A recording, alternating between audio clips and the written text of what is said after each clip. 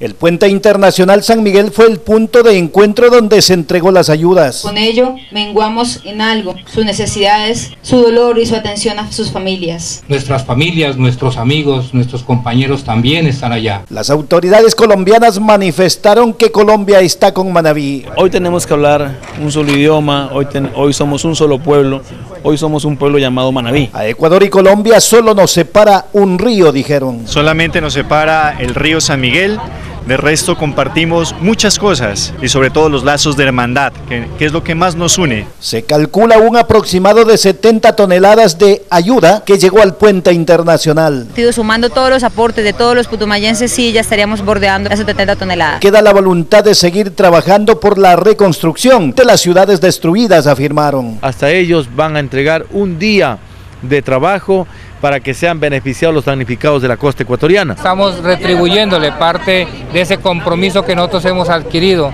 cuando hemos recibido también su apoyo en esos momentos difíciles. Las autoridades ecuatorianas expresaron el eterno agradecimiento por el gesto de solidaridad. Agradezco infinitamente en nombre de todas las personas que van a recibir estas donaciones allá en Manaví Esmeraldas. Infinitamente agradecemos a nombre de cada uno de nuestros conciudadanos que lamentablemente algunos de ellos perdieron sus seres queridos. Esa manifestación de apoyo humanitario que hemos recibido del departamento de Putumayo nos compromete a seguir trabajando por el desarrollo fronterizo. Vicente Albán de Soto, 24 horas.